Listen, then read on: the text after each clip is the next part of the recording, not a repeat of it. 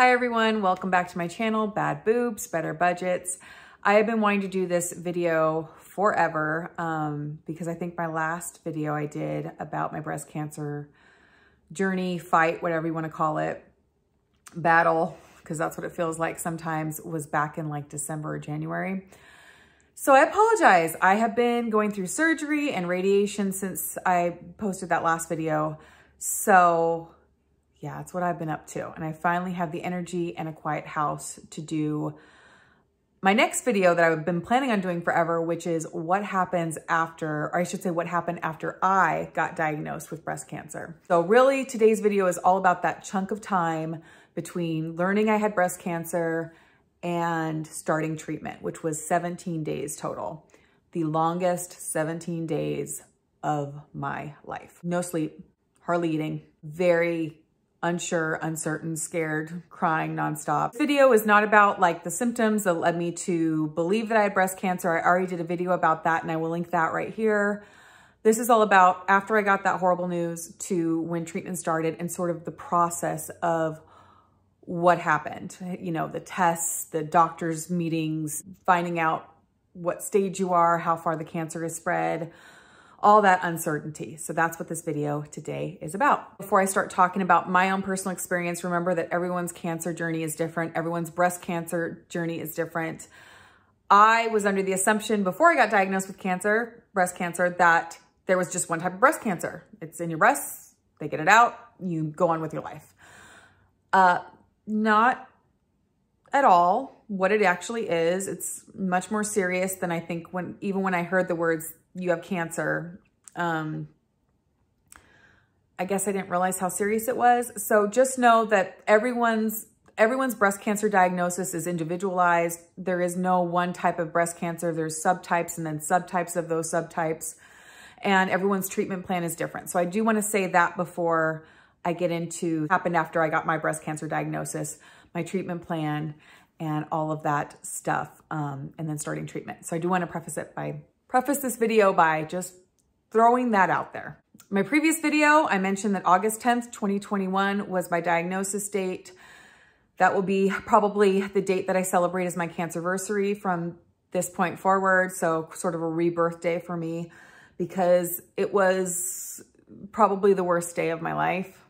And I want to reclaim that day because I don't want it to be a day that I dread every single year moving forward. I want it to be a day that I can celebrate and say, I made it. I did it. I, I'm still here on this earth. next day was crazy. I actually had my husband stay, my husband wanted to stay home from work. Also, my kids were five and two, so someone had to watch them. I was told by the nurse that called me the day before to tell me like the worst news ever. Have a pen, have a piece of paper ready to go, have your phone on you all day because you're gonna be just completely inundated with phone calls. And I was. I got a call from um, a surgeon. I got a call from an oncologist office. I got a call from the hospital saying they wanted to get me in for a breast MRI as soon as possible. Then after I got those series of calls and kind of figuring out when I was meeting with my team, um, I was then told that um, I then got a second set of phone calls that was pushing everything up. When my oncologist office called, the very first thing they told me was, um, we're going to be, what's your email? We're going to email you a bunch of paperwork to fill out. So that way you have it here before you meet with them. Okay. Same thing with my surgeon's office. Same thing. They said, I'm like, why can't you guys just share the same paperwork? There's a lot of paperwork. But in the same Uh, but at the same time too, it helped me keep my mind off of things. I'm like, well, at least it, I feel like I'm being proactive now, like I'm doing something. You know, all your insurance information, family history, everything. They want to know everything about you and your health and all of that stuff. Big old pile of paperwork to fill out once I printed it all off. It was pretty crazy. Got scheduled to see the oncologist and the surgeon. I talked to the oncologist office like three different times that day. And the third time they called, that is when I found out that I was going to be getting chemo, was on that phone call with the oncologist office. Um, I don't know if that's standard for them to say that, you know, they just don't want women finding out maybe while they're meeting with the oncologist, because obviously it's a very upsetting thing. Um, to lose your hair. You already are afraid you're going to lose your life. And then they're saying you're going to be on chemo. So she did tell me, she goes, with the type of breast cancer you have, and I didn't even know that I had a type of breast cancer. I just thought I had breast cancer at that point. She didn't specify what that meant, but she did say, she goes, you are going to need chemo with the type of cancer that you have, and you will lose your hair. And I just, my stomach just dropped. But at least I was able to cry. I remember my husband was in his office with the kids, and I went in and I was just like, I need chemo. They just told me that I need chemo. Um, because they said I had a type of breast cancer that I need chemo. And he's like, what? And I said, yeah, I guess, I guess that's going to be one of the questions we ask him tomorrow when we meet with them. Was they definitely said they recommended that obviously whoever your caregiver is to bring them or just bring a second set of ears pretty much because it's a lot of information and you want someone else there that's also writing things down or listening to um, all the information that they're going to throw at you. So that was August 11th, 2021, all the phone calls, found out that I would need chemo. August 12th, I go meet with the oncologist that they referred me to. I'm bringing all my paperwork in and Phil and I go in. I'm definitely the youngest person in the office. Everyone looks so sick. And that is where I had my first meltdown I'm so glad I had a mask on. I had a meltdown in the oncologist's office for sure. Luckily, it took about 30 minutes to even get into a room. By then, I had calmed down. I'm like, girl, you've got to put yourself together because if you melt down, you're not going to be able to hear anything. You're not going to be able to even think to ask questions. Um, so calm down. You know, I just was telling Phil, I'm like, just, I just, he just needs to tell me that I have a chance because at this point I'm like, I don't know if he's going to tell me that I have six months to live. I just know that I have a type of cancer that needs chemo. Like what the heck? We get to the office, the lady, again, I've already filled out all this paperwork. This lady's asking me a million other health questions about myself and my family history. And just, I'm like, I just filled out all this paperwork and you're asking me pretty much the identical questions, but that's okay. I understand. They need to do their job. I get it. The doctor comes in. He's actually very young. So I was like, okay, well, apparently I'm old now because my doctor is like the same age as me. He might be a few years older than me. I don't know. But he comes in very nice. He comes in with a nurse. He, you know, kind of asks me how I'm doing. And I'm like, well, not good, doc.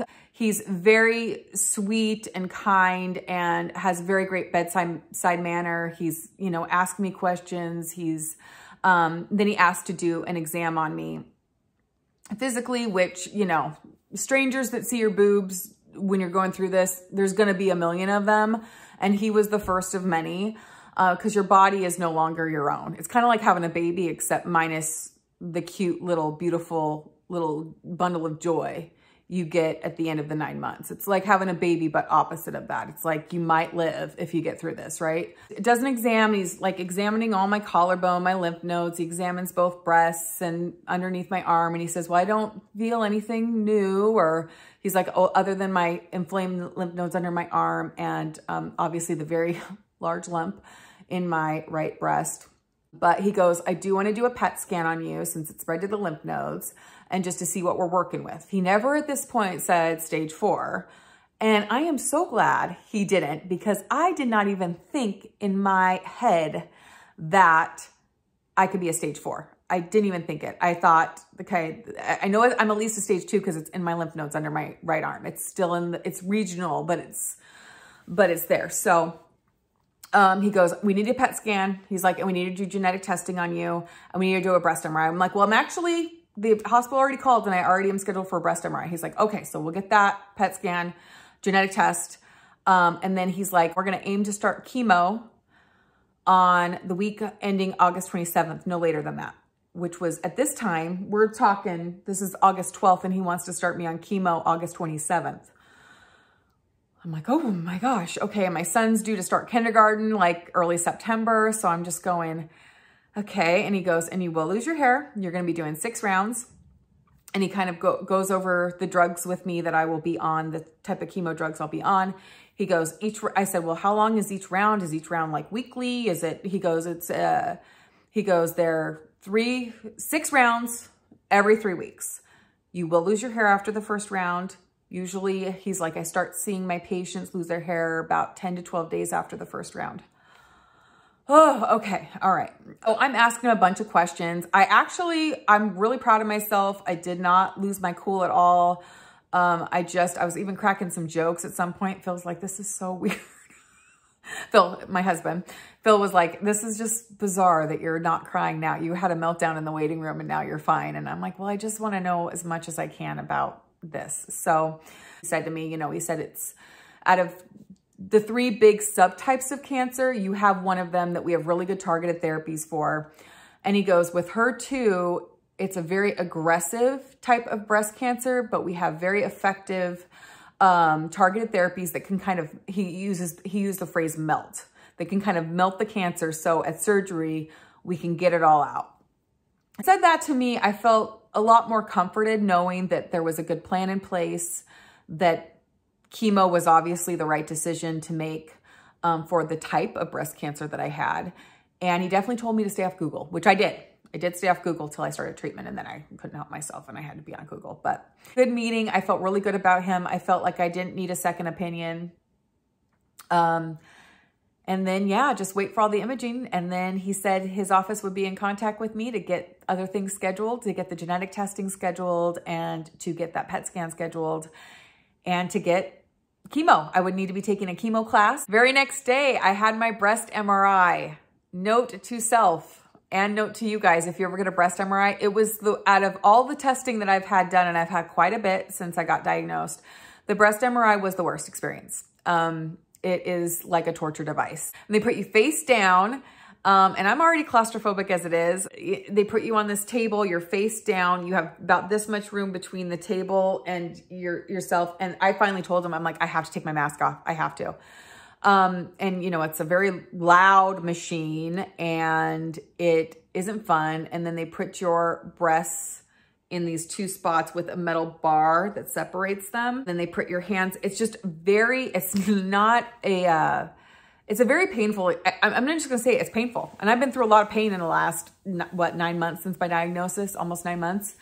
That was one of the worst experiences of my life. And then that next day, I got a call to get scheduled for my PET scan as well on the 20th. So I was going to be getting a full body PET scan from the base of my skull all the way to my knees the following Friday. And they were going to email me a bunch of instructions because with PET scans, you need to follow a whole diet.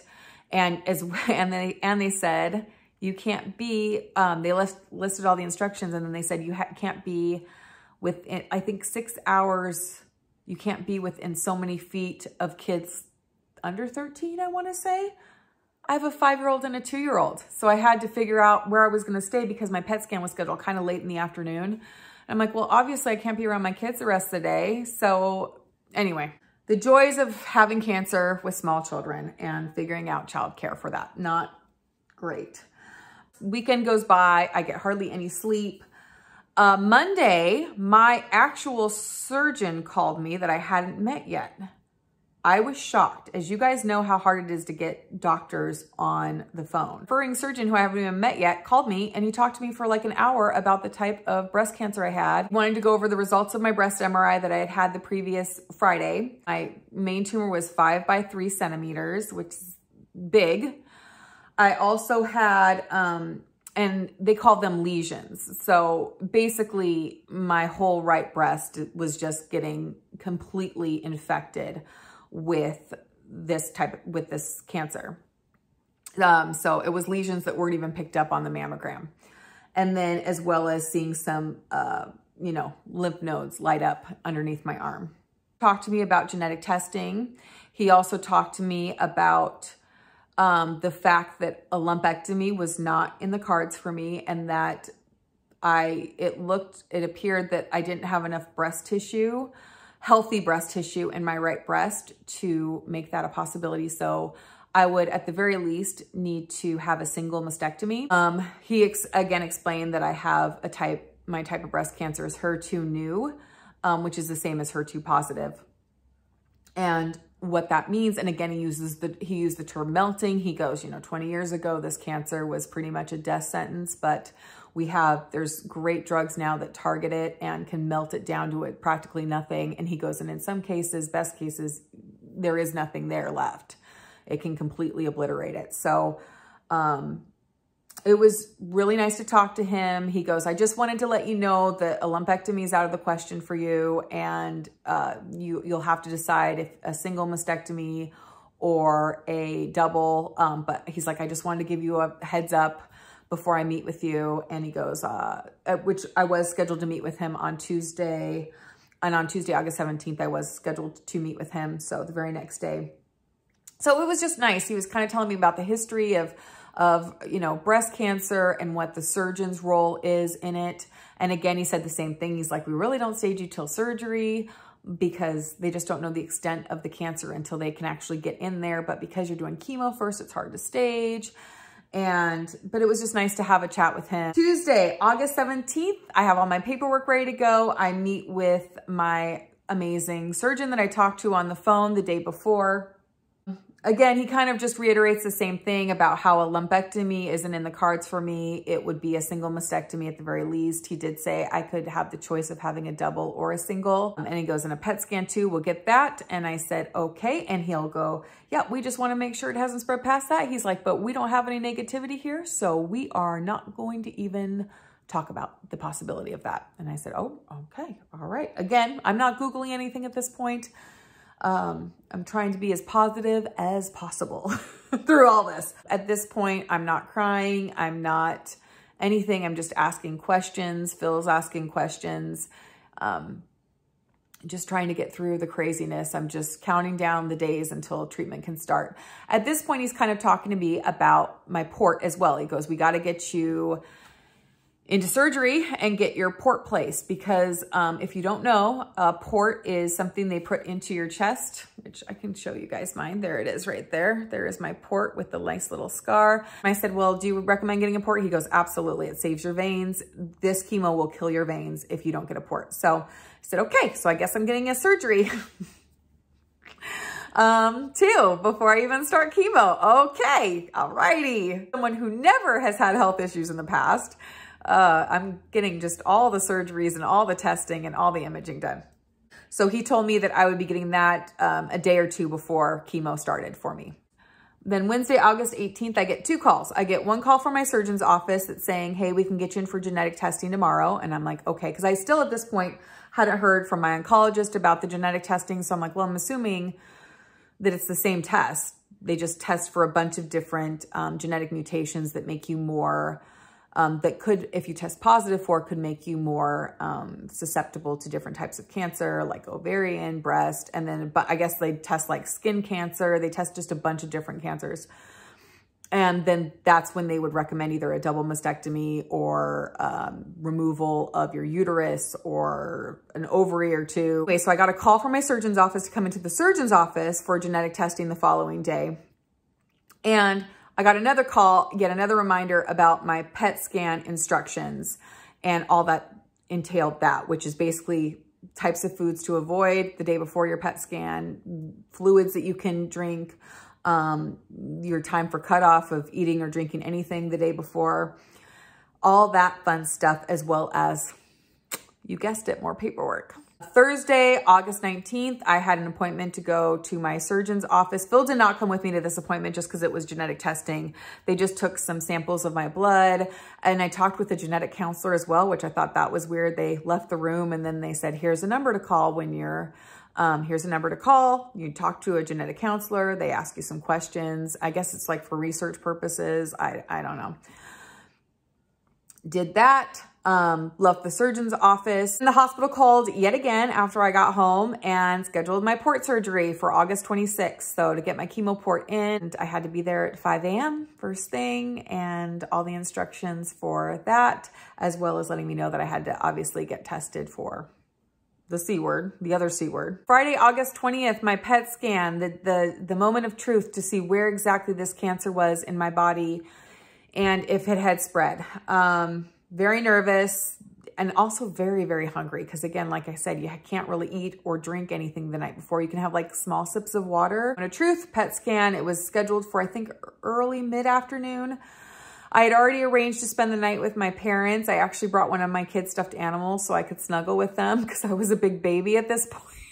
My husband was watching them all day Uh, went into the PET scan. They give you, um, they inject you with radioactive material pretty much so they can see what's going on in your body. They put you in this nice dark room. They give you a, a warm blanket and they kind of let you rest and let it all go through your system. And then they pull you into a room all set up to be in the machine.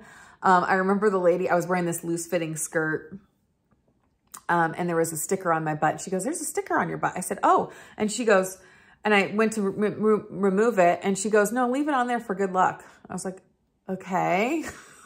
so I, so I did. I'm like, I, okay, I guess I'll leave it on for good luck. I guess, do I need good luck? I, okay. I just tell you the PET scan is such a, it's nerve wracking. Obviously, because the results, you just don't know what they're going to find.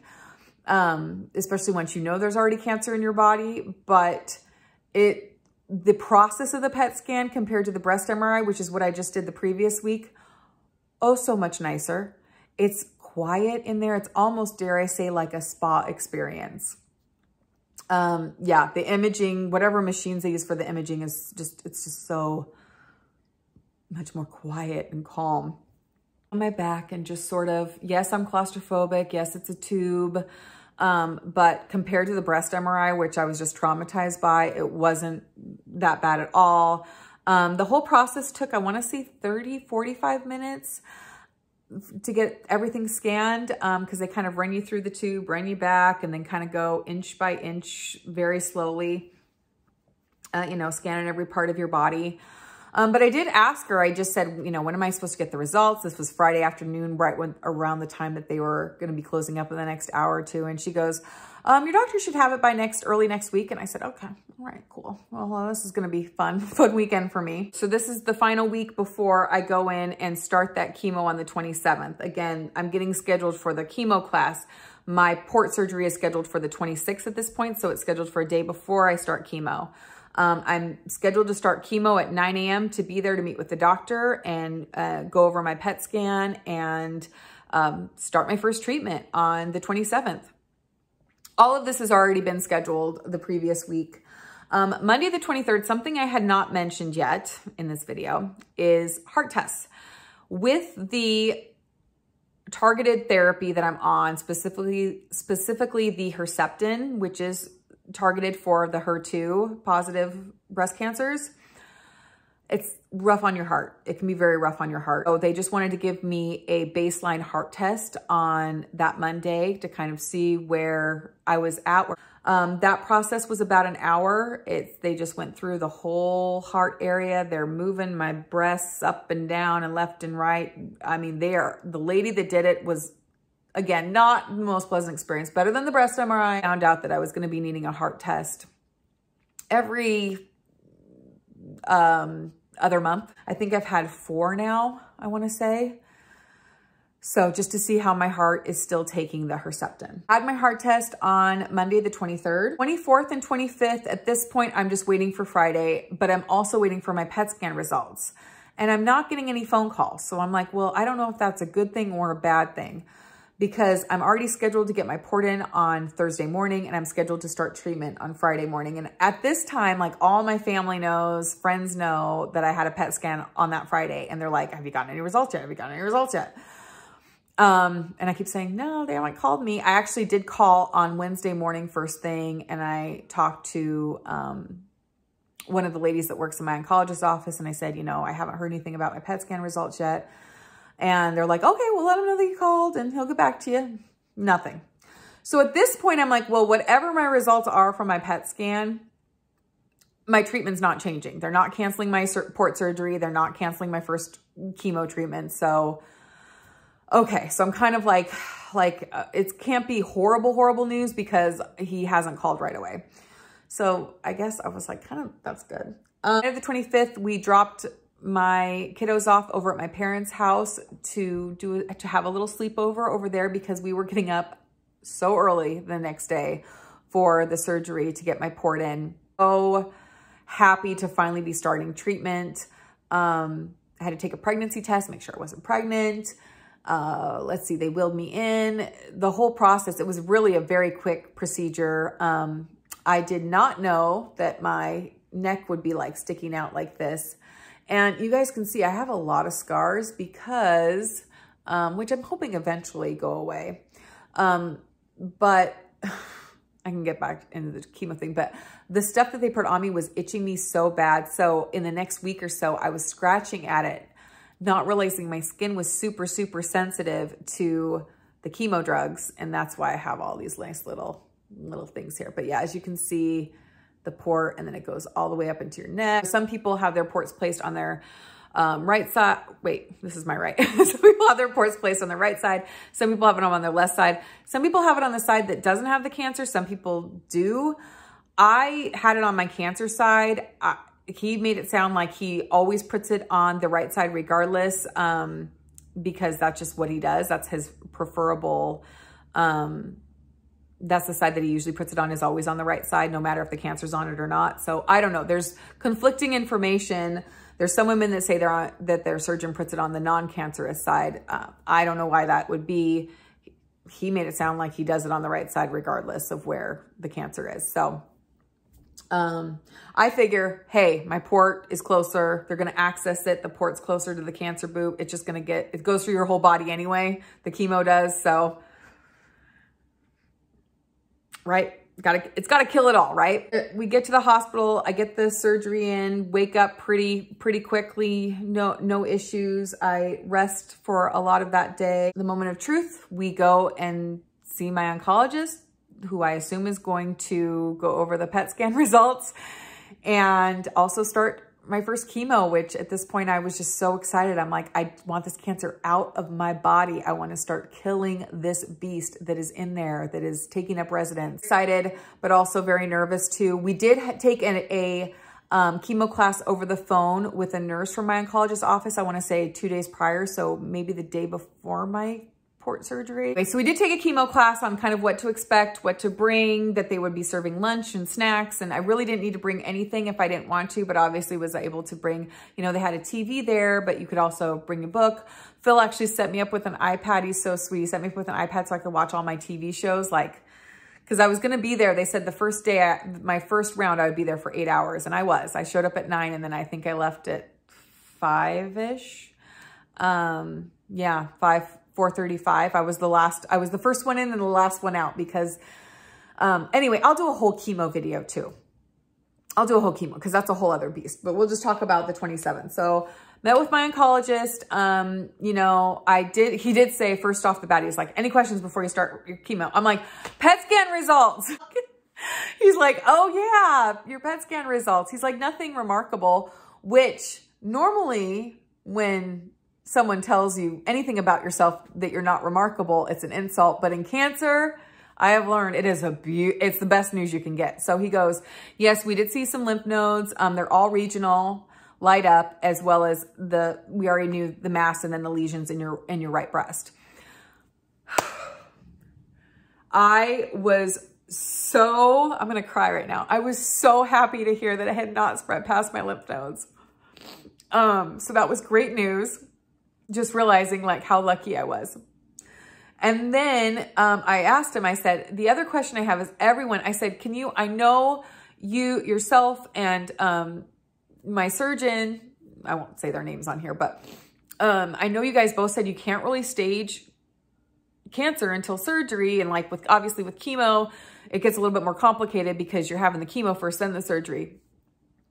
But I said, can you just give me a stage? Because everyone's asking me what stage I am. I don't know if they're planning my funeral or they're planning a party. I don't know if they're, at this point, if they're, if, what, what it is. So he goes, he goes, um, and he, you know, he goes through my PET imaging again. And then he goes, um, he goes, tell, he's like, I would stage you at a 2B, which I already knew I was a stage two, uh, a stage between a two and a three because of lymph node involvement and because of how big my initial tumor was. But he goes, tell your friends and family that you are, he goes, I would do like an estimate of a 2B um, before chemo starts. And he goes, and just tell your friends and family but that not only is your cancer treatable, but that it's curable. And that's all I needed to hear. That's it. That's all I needed to hear. I was trying not to cry on this video, but that's, I got just, it was just the best news. And Um, they whisked me back to my chemo chair and they got me all set up. And that's a whole other video that I will do at a different time because this video is already, before editing, is 47 minutes long.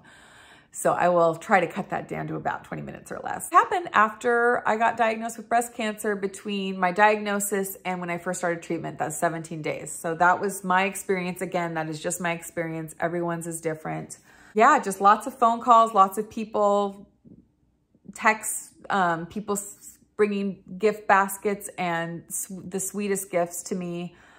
Um, you know, praying for me, it just meant the world. So those, um, if you've been newly diagnosed with breast cancer and haven't started treatment yet, um, and have a lot of questions and not a lot of answers, it does get better.